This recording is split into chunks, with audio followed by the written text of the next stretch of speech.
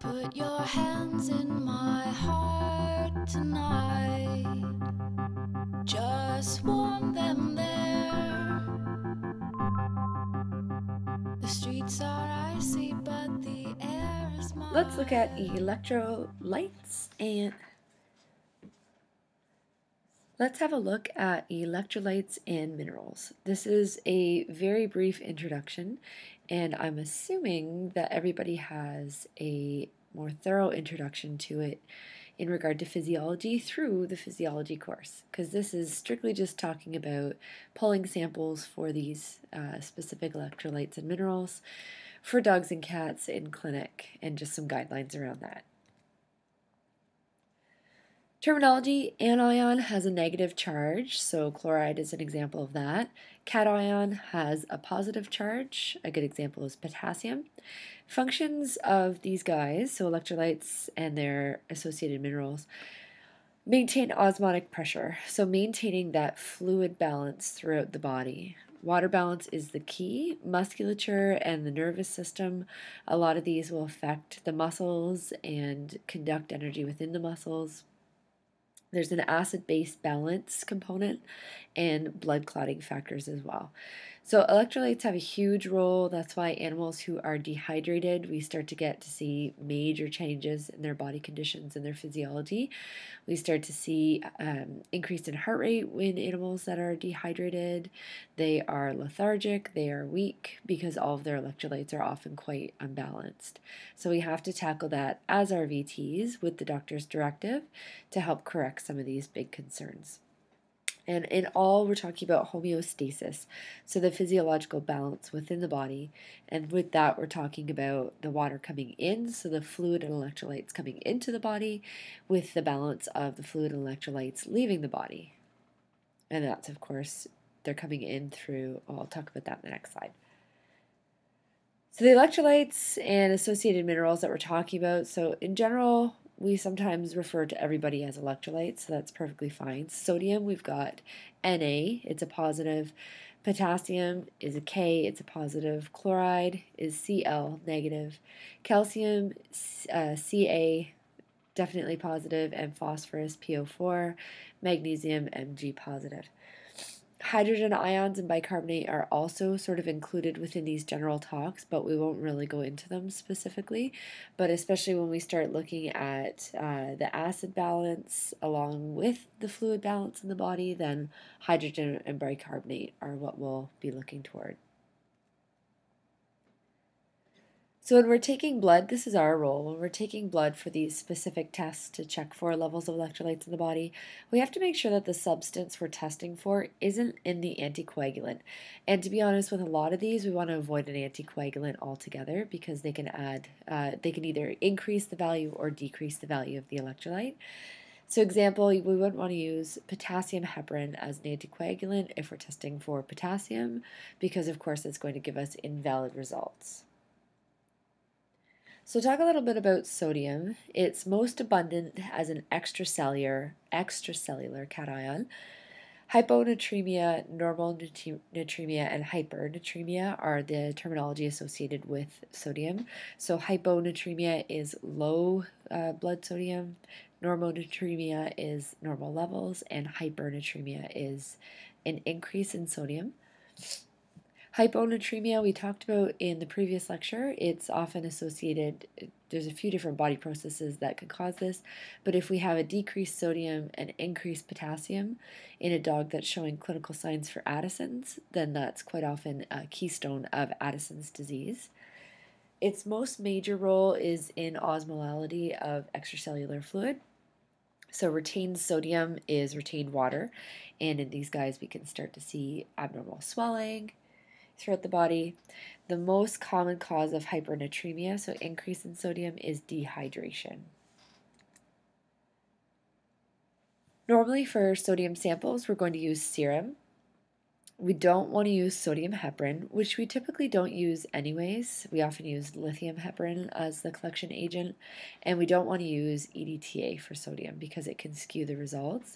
So if we use a red top tube, we're pretty much running it safe. We should always remove the plasma and serum from the cells ASAP because those lysed cells can potentially, if we have lysed RBCs or RBCs that are sitting there for quite a period of time, there is potential that they could disrupt and change the sodium value in the serum.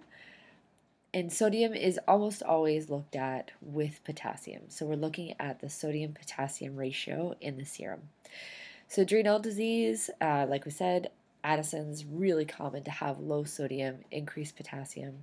Heart disease and kidney disease, we can start to see changes to the sodium and potassium levels in the body. I'll just go back here one second. So with the sodium levels with kidney disease, kidney disease, we're often getting increased levels of sodium because of that continuous dehydration because the animal is diuresing like crazy. And then also, we'll, on the flip side, we'll get low levels of potassium, which we'll often supplement in an IV bag for these guys. So here we go with potassium, our terminology, hypokalemia, normokalemia, and hyperkalemia. So we've got hypo, low kalemia, uh, low potassium, normokalemia is uh, normal levels of potassium, and hyper, of course, is increased levels of potassium in the body. This is an electrolyte that's predominantly intracellular. So when we're talking about intracellular, extracellular, we're talking about whether or not it lives within the cells for its mechanism of action, or if it's living in that fluid that bathes the cells, so that surrounds the cells for its mechanism of action. Serum potassium gives us little information about the overall potassium in the body because again, we're often look, not looking at the potassium that's housed within the RBCs, but instead, serum, we're looking at that extracellular type fluid. So we don't always get a clear picture of the level of potassium. Potassium is really key in normal cardiac function, muscular, and nervous system function. So animals who start to have low potassium like cats with chronic renal disease, they'll start to get really lethargic. They'll definitely have muscle weakness. They can get that uh, plantar stance where their hind feet are fully on the ground and their muscles are not reacting the way that they should. And of course, we can get changes to the heart rate as well. Any imbalance in sodium and potassium, then we have potential for increasing the likelihood of cardiac arrhythmias as well in these guys. So I always think of severe hydra- severely dehydrated patients. We can see some crazy cardiac arrhythmias and abnormal heart rates with those guys because their electrolyte balance is imbalanced, is incorrect. So plasma is the sample of choice for this one in particular. Platelets release potassium during clotting, so just to keep that in mind. So we, if we were to use a serum sample, there is potential that we're getting an incorrect level because of those platelets as they're clotting with the red blood cells, they're actually releasing potassium as well. So then we would get increased potassium levels. And if we're specifically looking for whether or not the animal has low potassium, that's going to be uh, that's going to change the results entirely. So do not use potassium EDTA. As you can imagine, that increases our levels falsely. We don't typically use potassium EDTA. We often use that lithium uh, heparin or just regular EDTA. So that's typically okay in clinic. And avoid hemolysis because we talked about potassium being intracellular. Potassium's higher in the RBCs than plasma. So if we get a lot of lysis, if we get a poorly drawn blood sample where the RBCs have ruptured and burst, then that potassium that uh, normally lives within the RBCs is going to be to, depending on which type of sample we're taking, but if it's plasma, we're going to have a false, uh, false level of, of potassium in that plasma that we're looking at. Because the RBCs are then dumping their potassium intracellularly. So don't refrigerate the sample until after the plasma has been separated from the cells. And again, this has to do with the RBCs sitting there for a period of time with the potential for lysis. And we often see changes in potassium in adrenal disease, heart disease, kidney disease, chronic vomiting, and diarrhea. And then I just repeated kidney disease because I, I guess I just wanted to talk about the importance that potassium, because that animal is constantly diuresing, so they are excreting fluids at a higher than average rate because their kidneys aren't functioning properly, then we start to see a diuresis of potassium. So they're just excreting potassium like crazy. And in those cases, oftentimes with our chronic kidney failure kitties and chronic kidney failure dogs, we'll give them IV fluids that are balanced with electrolytes, but then also add intravenous potassium into the IV fluid bag. Now, super, super, super important. Can't express this enough. I'm certain you've learned this in pharmacology previously, but I just want to reiterate it. If we are adding potassium to an IV bag and the cat or dog is being run on that IV bag, when we add the potassium to the bag, this can be said for any drug, but it is really important with potassium. When we add that potassium to the bag, we need to make sure that the line is clamped, the fluids are not running, and the potassium is injected into the bag and then the bag is agitated so sh- not shaking the bag but rotating the bag top to bottom top to bottom top to bottom so that we're not getting a huge plug of potassium sitting by the entrance of the IV line, because in that case, if the animal gets a huge whopping dose of potassium, then they can have some major, major challenges with their cardiac function. So, potassium is one that we are always diluting for dogs and cats, and it's most often given during IV fluid therapy to rehydrate the animal. We're also giving potassium in the IV bag. So, again, Always, always, always clamp the line, stop the fluids, and agitate the heck out of that bag if we've added potassium to an IV bag so that they're not getting a whopping dose of potassium, which would interfere with their cardiac function. Potassium, too, like I mentioned earlier, plays a big role on uh, muscle ability for muscles to function, to take in energy, to exchange energy and animals that have low potassium. So, again, quite often the picture is that chronic kidney disease animal, chronic renal failure, or chronic renal disease in general. It doesn't have to be failure, but they get that low potassium because their body is diuresing like crazy, low potassium, and then they get major, major muscle weakness with this, and they can get that plantar stance in their hind feet. So, chloride terminology hypochloremia, normochloremia, and hyperchloremia. We look at chloride, uh, or the doctor will look at chloride when we're looking at diabetic ketoacidosis, renal failure, and Addison's disease. So, all of these three conditions can affect the level of chloride in the body, and they're often interpreted with the other blood results. So, we wouldn't, there's not often a case where they make a diagnosis strictly based on the chloride levels, but they're interpreted with the other electrolytes within the balance and the blood chemistries as well. Calcium is very important, so our terminology for calcium, hypocalcemia, normocalcemia, and hypercalcemia, has an inverse relationship with phosphorus. So if one goes up, the other one goes down. Eclampsia or preeclampsia. Preeclampsia is just heading into eclampsia, and eclampsia is a low calcium level in the blood in a postpartum animal. So, an animal that is given birth typically one to five weeks ago. The kittens, so the little neonates or the puppies, are feeding, feeding, feeding on the bitch or the queen, and they are pretty much just stealing away her calcium supplies. So, with this, we can see a sudden drop in calcium levels in these animals. And when they get this sudden drop in calcium, they will start to look agitated, so they're panting. Quite often, they start vomiting and they start to get major muscle weakness as well. So, they start to look drunk. They have a hard time walking, a hard time getting up, and there's a lot more time spent just laying down. There are factors that predispose dogs and cats to getting eclampsia or starting that preeclampsia process. Dogs and cats that are first time, it's their first time having a litter, they're more likely to get eclampsia.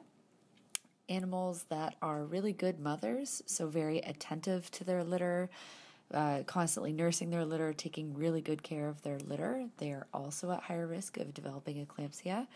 And when we're looking at dogs, dogs who are toy breed dogs are also at higher risk of getting eclampsia or preeclampsia too. So, eclampsia technically isn't an overall lack of calcium in the body. It's an indication that the nursing female can't mobilize enough calcium that's stored into her body to meet her metabolic needs. So they might physically have the calcium, but the parathyroid gland isn't working the way it should. Normally, the parathyroid gland will uh, indicate, send the body messages that it needs to release more of that stored calcium into the body, into the blood to be uh, passed around all the organs. And in this case, the parathyroid gland is not working the way it should. So the parathyroid gland is not getting those signals to the body to release that stored calcium. Animals who are eclamptic or preeclamptic, they'll come to the clinic. It is an immediate emergency. Signs that the owners might call you with are their dog who recently had a litter of puppies or a cat who had a recent litter of kittens, normally within the last one to five weeks. They might be showing weakness. Uh, they're often panting. Panting is a really big sign of that. They can get a weird form of paralysis and they can get really stiff limbs or an inability to walk. So, like I mentioned earlier, a lot of just laying down, not wanting to move. And it is an emergency, so that animal needs to come in ASAP. We'll take the blood sample, run that, send it away, whatever he might do. But if the doctor is suspecting that they are eclamptic or preeclamptic, they're going to give it uh, intravenous calcium to correct that immediate drop in calcium. When we're taking these samples, we don't want to use EDTA, it decreases the plasma calcium. And serum calcium is affected by serum albumin. If the albumin levels are abnormal, then the doctor would have to calculate the adjusted serum calcium levels to get an accurate level. Serum phosphorus, so we have hypophosphatemia, normophosphatemia, and hyperphosphatemia, has an inverse relationship with calcium. So when one goes up, the other goes down, and it's regulated primarily by the kidneys. It's important to know that growing animals have higher serum phosphorus, just something that you might see on pre-anesthetic blood work, that their ALK phos has been increased. Whereas in older animals or middle aged animals to older, sometimes a single increase in ALK phos can be the start of Cushing's disease. So it might mean that the animal has the start of Cushing's disease.